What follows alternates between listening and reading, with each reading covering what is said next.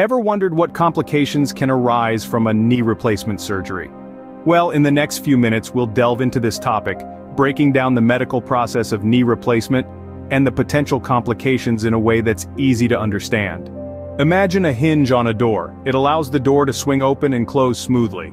Now think of your knee as a sophisticated version of that hinge, allowing you to walk, bend, and jump. But like any hinge, wear and tear over time can cause problems. That's where knee replacement surgery comes in. Knee replacement surgery, or arthroplasty, is a procedure wherein a damaged or worn-out knee joint is replaced with an artificial one. This artificial joint is made from metal and plastic components designed to mimic the function of a natural knee. It's a common procedure, especially among older adults suffering from arthritis.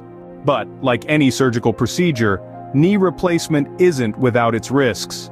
Complications can arise, some during the surgery itself and others in the days, weeks or even years afterwards. During surgery, there's always a risk of reaction to anesthesia, excessive bleeding, or infection. There's also the chance of injury to nerves or blood vessels around the knee. Once the surgery is over, there are immediate post-surgery risks to consider. Blood clots, for example, can form in the leg veins due to decreased activity.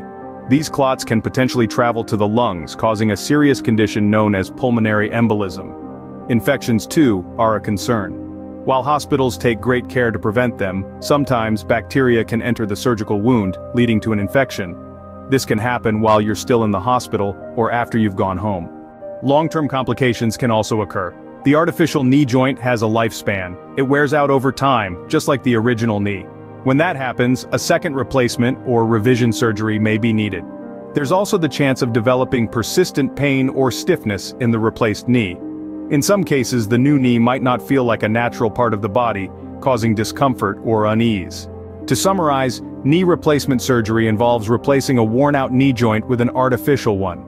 While it's a common and generally successful procedure, it does come with potential complications. These can include reactions to anesthesia, infections, blood clots, and long-term issues like joint wear and persistent discomfort. Remember, every person's experience with knee replacement surgery is unique, while complications can occur, many people undergo this surgery and enjoy improved mobility and quality of life. It's essential to have an open conversation with your healthcare provider about the risks and benefits before making a decision. In the end, understanding the procedure and potential complications can help you make an informed choice about knee replacement surgery.